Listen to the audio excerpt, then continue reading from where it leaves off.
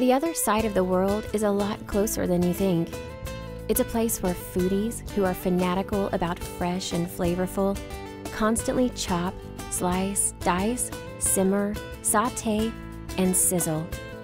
They pour their passion into words some visitors can't quite pronounce, translating them into dishes they quite simply can't stop craving.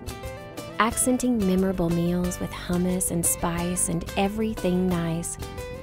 It's a destination where tour guides greet travelers at the door with the warmth of a falafel and invite them to embark upon a culinary journey where plentiful plates, home baked pitas, and wonderful wraps are the vessels that transport tastes from the barrios of Barcelona, the neighborhoods of Naples, and the islands of Istanbul, all the way to Park Meadows, Paradise Valley, Broadmoor, and beyond. It's a gathering spot for families, friends, guys, gals, and gyros.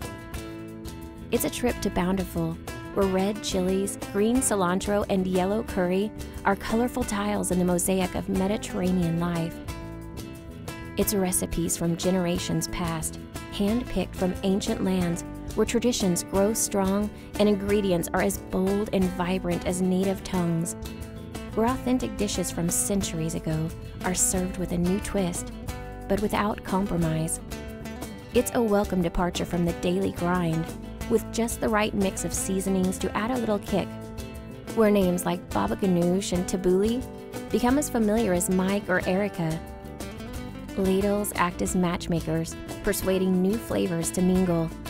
Meats are marinated to make mouths water, then grilled to perfection. Sauces are so savory, they actually stir the soul.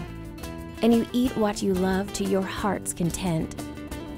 It's a cause for celebration, full of garlic, herbs, kebabs, and fun. It's wholesome, healthy, and delicious, all wrapped up into one. It's where your order is customized, not cookie cutter, and your sweet tooth is beckoned by a piece of baklava that's a piece of heaven.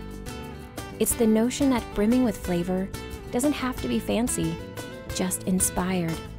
And simple tastes better. It's garbanzo, Mediterranean fresh,